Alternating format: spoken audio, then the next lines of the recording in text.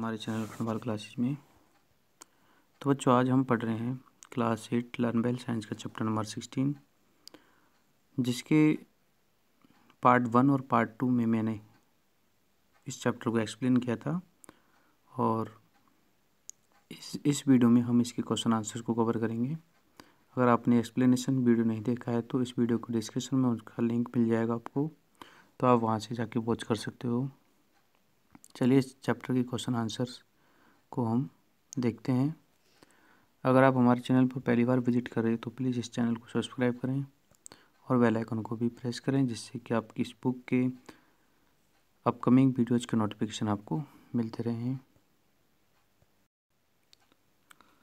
First question आपका multiple choice question है, जिसमें ए वाला क्वेश्चन देखते हैं। The time period between a new moon day and next new moon day तो इसका जो टाइम पीरियड होता है, वो आपका होता है ट्वेंटी नाइन डेज़ का। तो इसमें राइट आंसर है twenty nine days second question है the star that appear to be stationary from the earth यानी कि वह कौन सा स्टार है जो कि अपनी पोजीशन पर फिक्स्ड है स्टेशनरी है मतलब फिक्स्ड है, जो मूव नहीं करता है तो वो है आपका पोल स्टार ठीक है? जो कि हमेशा नॉर्थ डायरेक्शन में ही आपको दिखाई देता है और इसकी पोजीशन फिक्स है।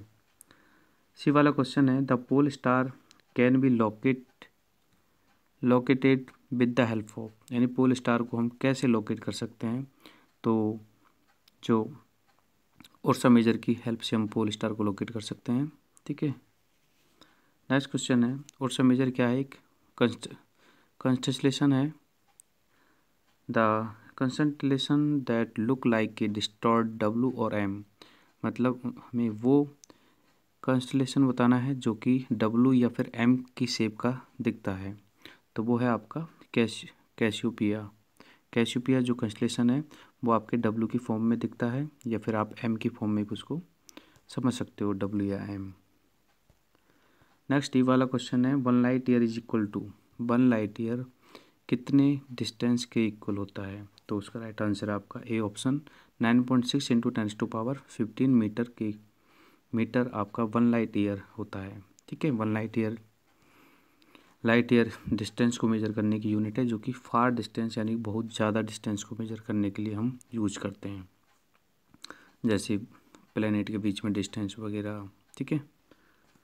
एब वाला क्वेश्चन है the earth rotated from earth का रोटेशन हमेशा वेस्ट टू ईस्ट होता है तो आंसर सेकंड आगे हम देख रहे हैं इन द ब्लैंक्स तो पहला है stars are mainly made of stars जो होते हैं, वो मैनली गैसेस हाइड्रोजन और हीलियम के ही बने होते हैं। सेकंड क्वेश्चन है आपका is a constellation that look like a hunter यानी कौन सा कंस्टलेशन है जो कि एक हंटर जैसा दिखाई देता है? तो उसका राइट आंसर आपका ओरियन थर्ड क्वेश्चन है when more than half of the moon is visible it is called यानी कि जब हाफ़ से ज़्यादा मून विजिबल होता है तो उस कंडीशन में हम उसे क्या कहते हैं? तो उसका राइट आंसर है बैक्सिंग गिब्बस मून ठीक है? फोर्थ क्वेश्चन है asteroid belt is present between the orbits of Mars and Jupiter यानी कि जिस बेल्ट में एस्ट्रोड्स मूव करते हैं तो वो बेल्ट है आपकी मार्स और जुपिटर के बिटवीन जब मैंने चैप्टर को एक्सप्लेन किया था तो मैंने इसको अच्छे से समझा था। तो आप वो वीडियो भी वॉच कर सकते हो, अगर आप चाहते हो तो। आगे देखते हैं हम ई वाला question the last four planets of the solar system are called solar system के जो लास्ट के चार प्लैनेट हैं ना, उन्हें हम जोबियन प्लेनेट कहते हैं, ठीक है? और आगे के चार प्लेनेट होते हैं, वो आपके इनर इनर प्लेनेट होते हैं।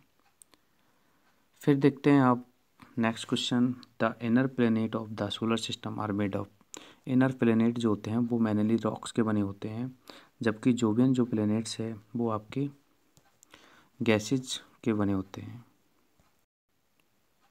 नेक्स्ट देखते हैं question number third understand the relation and fill in the blanks ठीक है? हमें रिलेशन को अंडरस्टैंड करना है, और फिर उसी हिसाब से आगे का जो रिलेशन है, वो बनाना है। जैसे देखो, उर्सा मेजर उर्सा मेजर को हिंदी में हम बोलते हैं सप्तऋषि। इसी प्रकार से ओरियन को जो है हम हिंदी में कहते हैं मृग, ठीक है? मृग। नेक्स्ट है फुल मून फुल मून पूर्णिमा के दिन होता है और न्यू मून होता है आपका अमावस्या के दिन, ठीक है? और अर्थ का, अर्थ एक ब्लू प्लेनेट है। इसी टाइप से आपका मार्स जो है एक रेड प्लेनेट है, ठीक है? तो यानी कि आपको सही से जो रिलेशन बनना है, वो आपको बनाना है। बीनस को हिंदी में हम कहते हैं शुक्र, ऐसे ही मार्स को हम हिंदी में कहते हैं मंगल ग्रह।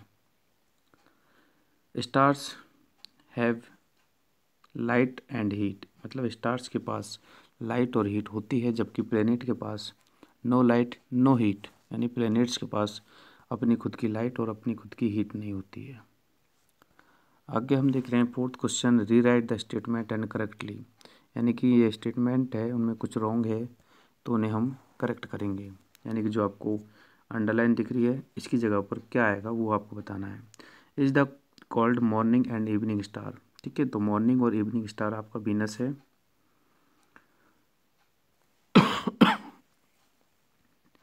नेक्स्ट है is the largest planet of the solar system solar system का लार्जेस्ट जो प्लेनेट है, वो नेपच्यून नहीं है।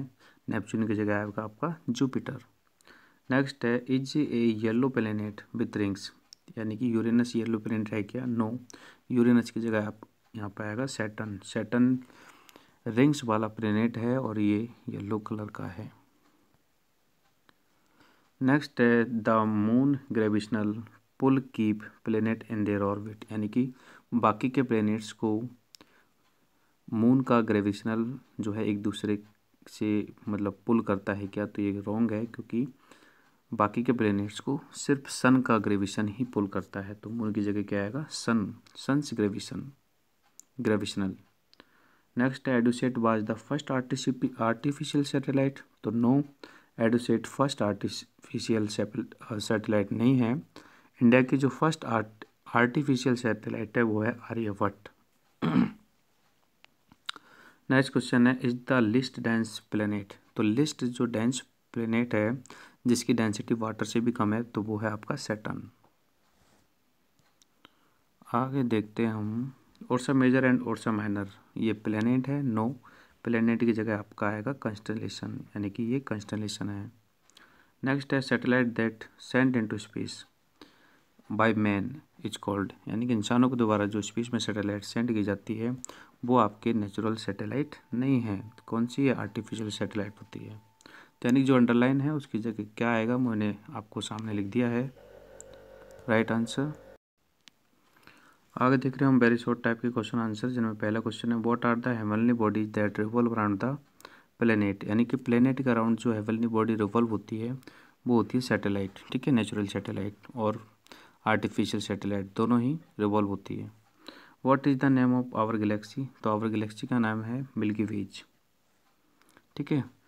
Which star is nearest to the earth after the sun यानी सन के बाद ऐसा कौन सा स्टार है जो कि हमारे अर्थ के नियरेस्ट है? वो है आपका प्रोग प्रोगजिमा सेंचुरी डी वाला क्वेश्चन है which constellation is also called little bear तो उर्सा माइनर को हम बोलते हैं लिटिल वियर और एक और होता है उर्सा मेजर उसको बोलते हैं हम ग्रेट वियर ये दोनों ही कंस्टलेशन है।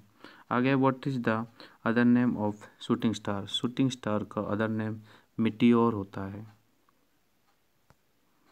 आगे हम देख रहे हैं शॉर्ट टाइप के क्वेश्चन आंसर्स तो पहला हम पढ़ते हैं डिफाइन लाइट ईयर ठीक है? तो लाइट ईयर क्या है? इसे हमें डिफाइन करना है। ठीक है? तो देखो, ये वाला आपका आंसर है इसका। The distance travelled by a light in a one year यानी कि एक ईयर में लाइट के द्वारा जो डिस्टेंस ट्रेवल की जाती है, उसे हम कहते हैं लाइट ईयर तो ये वाला जो रेड कलर का डिफाइन है ये आप इसमें लिख लीजिए। नेक्स्ट क्वेश्चन भी है what is the solar system तो सोलर सिस्टम का आंसर आपका ये है ब्लैक वाला। The sun and the sun and the celestial bodies such as planet comets asteroids and meteoroids ठीक है which revolve around the sun form the solar system मतलब ये सभी मिलके सन भी सन है प्लैनेट्स हैं और कॉमेट्स हैं एस्ट्रॉइड्स हैं मीटरोइड्स हैं, ये सारे मिलके एक सोलर सिस्टम को तैयार करते हैं। सी सी वाला क्वेश्चन है व्हाट आर कॉमेट्स तो comets is an icy cosmic ball मतलब बर्फ़ की एक तरह से कॉस्मिक बॉल होती है which orbit the sun and while coming closer to the sun release gases यानी कि सन के पास में जब गैस रिलीज़ होती है तो ये एक तरह से उसमें से निकलते हैं तो वो कॉमेट्स होते हैं। आगे है डी वाला question what is the pole star and why does it appears stationary यानी कि पोल स्टार क्या होता है और ये स्टेशनरी क्यों अपेयर होता है? स्टेशनरी का मतलब है कि पोल स्टार एक जगह फिक्स ही अपेयर होता है हमेशा, ऐसा क्यों होता है? ठीक है? तो उसका आंसर आपको मैंने नीचे लिखा है ये वाला। A pole star is a brightest stationary star in north direction यानी कि हमेशा नॉर्थ डायरेक्शन में हमें दिखता है और ब्राइटेस्ट है मतलब चमकदार है और स्टेशनरी है मतलब फिक्स्ड है अपनी पोजीशन पे। इट अपेयर्स स्टेशनरी अब ये स्टेशनरी क्यों अपेयर होता है, उसका रीज़न नीचे लिखा है मैंने। It appear stationary in the sky because it is positioned positioned close to the line of earth axis यानी कि ये जो होता है ना, ये हमारी अर्थ एक्सिस की ही लाइन में पड़ता है। ठीक है, अर्थ की एक्सिस जो होती है, वो हमें घूमती हुई नहीं दिखाई देती, ठीक है? अगर आपको इस चीज़ को अच्छे से समझना है तो मैंने जब चैप्टर को एक्सप्लेन किया था, उसका वीडियो आपको डिस्क्रिप्शन में मिल जाएगा। तो उसमें मैंने इस चीज़ को अच्छे से समझाया एक एक्टिविटी के द्वारा तो आप वहाँ से जाके समझ सकते हो। आगे देखते हैं next question what are meteoroids meteoroids क्या हैं? ठीक है? तो उसका आंसर मैंने ये लिखा है meteoroids are object in the space that range in size from the dust grains यानी मीटेरोइड्स जो होते हैं एक तरह से स्पेस में ऑब्जेक्ट होते हैं जो कि जिनकी साइज़ जो होती है डस्ट ग्रेन जैसी होती है। मतलब कुछ एस्ट, मतलब स्मॉल एस्ट्रॉयड हम बोल सकते हैं। ठीक है? एस्ट्रॉयड भी क्या होते हैं? ये भी रॉक पार्टिकल्स होते हैं लेकिन ये बड़े होते हैं बट मीटर्स छोटे होते हैं। ठीक है? Think of them space rocks यहाँ पे लिखा भी है मैंने कि भाई हम इनको स्पेस की रॉक्स बोल सकते हैं, ठीक है? छोटे, बहुत छोटे छोटे। When meteors enter earth atmosphere यानी जब मीटर्स हमारे एटमोसफेयर में इंटर करते हैं तो हाई स्पीड इनकी स्पीड हाई होती है, जिससे कि ये बर्नअप हो जाते हैं मतलब ये जल जाते हैं, ठीक है? और इन्हें हम शूटिंग स्टार भी कहते हैं, वो भी मैंने यहाँ पर आपको लिखा है। आगे हम देखते हैं एफ़ वाला question why does the moon look different every मतलब मून जो है हमें एवरी डे डिफरेंट दिखाई देता है। ऐसा क्यों होता है? ठीक है? ऐसा इसलिए होता है क्योंकि मून जो होता है, देखो the moon does not emit light itself यानी मून जो होता है वो खुद तो लाइट इमिट नहीं करता है। ठीक है? मून जो होता है, वो खुद अपनी लाइट इमिट नहीं करता है। मून हमेशा सन की लाइट में ही क्या होता है? ग्लो होता है, या फिर हम बोल सकते हैं कि मून जो होता है सन लाइट में ही एक तरह से चमकता है। यानी कि सन की लाइट जब रिफ्लेक्टेड होती है तो वो चमकता है। So as the moon orbits the earth the sun lights different parts यानी कि मून जो होता है, अपने ऑर्बिट पे क्या करता है? रिवॉल्व करता है। तो जिस पार्ट पे मतलब सनलाइट गिरती है तो वही पार्ट हमें दिखाई देता है, बाकी का अदर पार्ट हमें दिखाई नहीं देता। इसलिए जो है मून का शेप रोज़ ही चेंज सा मतलब चेंज जैसा ही दिखाई देता है। तो ये आपके शॉर्ट टाइप के क्वेश्चन आंसर यहाँ कंप्लीट है। आगे देखते हैं लॉन्ग टाइप के लॉन्ग टाइप का जो क्वेश्चन पहला है, वो है आपका explain the atmospheric condition on the moon यानी मून पर जो एटमॉस्फेरिक कंडीशन होती है, वो किस टाइप की होती है तो हमें उसको एक्सप्लेन करना है। तो उसका आंसर आपकी स्क्रीन पे है। फ़र्स्ट का आंसर देख लो आप। The moon has no light. Moon पे कोई लाइट नहीं है, ठीक है? क्योंकि मून की मून की खुद की तो कोई लाइट है नहीं है, ठीक है? मून किस इमिट होता है? सनलाइट से इमिट होता है। It shine because it reflect the light of sun, यानी कि वो सन की लाइट को रिफ्लेक्ट करता है, इसलिए ये चमकता है। It is about one fourth the size of the earth, यानी कि अर्थ की साइज़ का वन फुट पार्ट के अबाउट ये होता है। इट सरफेस हैज़ रॉक्स इसकी सरफेस पर काफ़ी रॉक्स हैं माउंटेन्स है और क्रेटर्स है क्रेटर्स मीन्स गड्ढे हैं ठीक है और craters were formed when meteors hit it मतलब मून पर जो मेट्रियर्स है जब हिट करते हैं तो क्रेटर बन जाते हैं मतलब गड्ढे बन जाते हैं देयर इज़ नो एयर यहाँ पर कोई एयर कोई भी वाटर नहीं है hence life does not exist on moon यानी कि मून पर कोई लाइफ एक्सिस्ट नहीं करती है। Sound also can not travel और साउंड भी यहाँ पर ट्रैवल नहीं करता है बिकॉज़ यहाँ पर एटमोसफियर नहीं है। The moon rotated on its own axis and also revolve around the earth moon जो होता है, खुद के एक्सिस पे भी रिवॉल्व होता है और हमारी सॉरी खुद के एक्सिस पर भी रोटेट होता है और हमारी अर्थ के चारों तरफ़ तो रोटेट करता ही है। तो ये मून के एटमोसफेयर के बारे में कुछ है।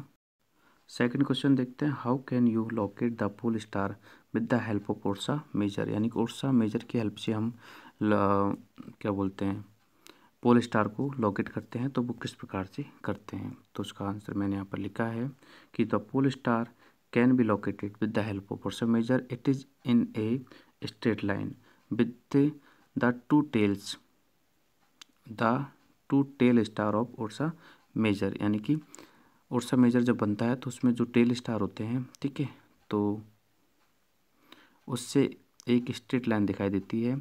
It is an interesting to know that Ursa Major appears to the move around the pole star यानी कि उर्सा मेजर जो होता है, वो पोल स्टार के अराउंड ही मूव करता है, ठीक है। अब ये आपको समझ में नहीं आएगा क्योंकि चैप्टर आपने पढ़ा नहीं है तो आपको कैसे समझ में आएगा ये? नेक्स्ट क्वेश्चन है सी वाला। Which are inner and outer planet of the solar system how do they differ मतलब जो इनर प्लेनेट है सोलर सिस्टम की और आउटर प्लेनेट है तो उनके बारे में बताना है और ये किस प्रकार एक दूसरे से डिफरेंट है। ठीक है तो उसका आंसर भी हम देखते हैं। थर्ड क्वेश्चन ये रहा आपका। देखो, चार प्लेनेट तो आपके इनर होते हैं, उनमें है आपका मरकरी वीनस अर्थ और मार्स ये चारों ही इनर प्लेनेट होते हैं। एंड इन्हें हम टेरिस्टल प्लेनेट भी कह सकते हैं। These planets have well defined surface containing rocks and soil यानी कि इन प्लेनेट्स के पास अच्छे से डिफाइंड एक तरह से अच्छा सा इनका एटमोसफेयर होता है मतलब रॉक्स होती है और सॉइल होती है। जबकि जो आउटर प्लेनेट होते हैं, ठीक है, वो गैसेस के बने होते हैं और उनमें है आपका जुपिटर सैटर्न यूरेनस और नेपच्यून ठीक है, ये आउटर प्लेन मतलब आउटर प्लेनेट होते हैं। इन्हें हम जोबियन प्लेट भी प्लेनेट भी कहते हैं, पीछे हमने पढ़ा है अभी। और इनका जो सरफेस है ठीक है, वो ज़्यादातर गैसेस फॉर्म से होता है मतलब गैसेस फॉर्म से बने होते हैं। बस इतना डिफरेंस इनमें, ठीक है।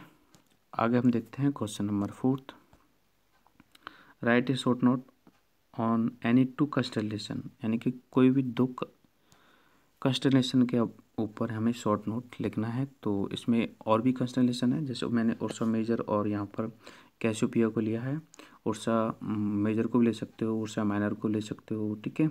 और भी कंस्टलेशन है तो आप कोई भी दो लिख सकते हो यहाँ पर। तो उसके बारे में मैंने लिखा है, देखो Ursa Minor it is also known as little bear Ursa Minor को लिटिल बियर कहते हैं और उर्सा मेजर को लिटिल सॉरी ग्रेट बियर कहते हैं, ठीक है? हिंदी में अगर बोले तो इसको लघु सप्तऋषि कह सकते हैं।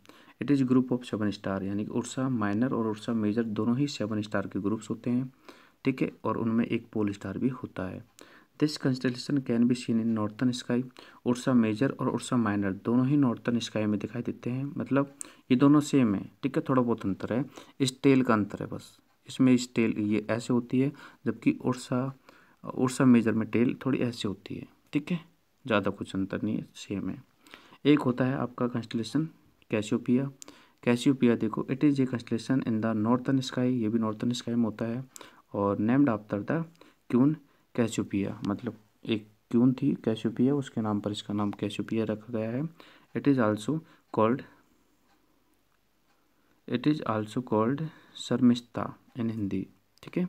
It is group of five bright star इसमें पाँच ब्राइट स्टार होते हैं। One two three four five ठीक है? जैसा कि डायग्राम में दिखा रखा है, ये डायग्राम आपको बनाना नहीं है बट मैंने समझाने के पर्पज़ से आपको लिया है यहाँ पर। इट इज़ ईजिली रिकोगनाइज्ड मतलब इनको अच्छे से रिको रिकोनाइज कर सकते हैं। ये हमें एम या डब्लू के शेप में दिखाई देता है, जैसे देखो। ये तो बन गया डब्लू और उधर से देखोगे, इधर साइड से तो एम दिखेगा। तो इस प्रकार से इनका ये टू कंसलेशन के बारे में क्वेश्चन फोर्थ में आपको बताना है। क्वेश्चन फाइव है distinguish between the meteors and meteoroids ठीक है? तो मीटियोर एंड मीटेरॉइड्स में डिफरेंस मैंने तो आपको यहाँ पर दिखाया है। पढ़ लेते हैं एक बार। देखो मिट्टी मिट्योर्स और मिट्टीरोइड्स और एक और होता है मिट्टीरोइड्स ये तीन चीज़ें जो होती है ना, जब मैंने चैप्टर का एक्सप्लेन किया था तो मैंने बताया था कि ये तीनों ही ज़्यादा डिफरेंस नहीं होता है इनमें, ठीक है? सिर्फ़ साइज़ का डिफरेंस होता है, होते ही एस्ट्रॉइड जैसे ही हैं। तो देखो they are meteoroids that burn completely इतना सा डिफरेंस है कि ये जो होते हैं, वो कम्प्लीटली बर्न होते हैं। हमारी अर्थ सरफेस आने से पहले ही ये बर्न होते हैं, ठीक है? और ये जो होते हैं, वो कुछ अनबर्नड होते हैं मतलब ये बिना जले हुए होते हैं। और they are small and very size मतलब ये बहुत छोटे होते हैं, ये थोड़े इनसे बड़े होते हैं। And they do not cause any damage on the earth मतलब जब ये हमारी ज़मीन पर गिरते हैं मिट्योर्स तो ये ज़्यादा डैमेज नहीं करते हैं। क्यों नहीं करते ज़्यादा डैमेज क्योंकि ये ऑलरेडी बर्न हो चुके होते हैं और ये फिनिश हो चुके होते हैं।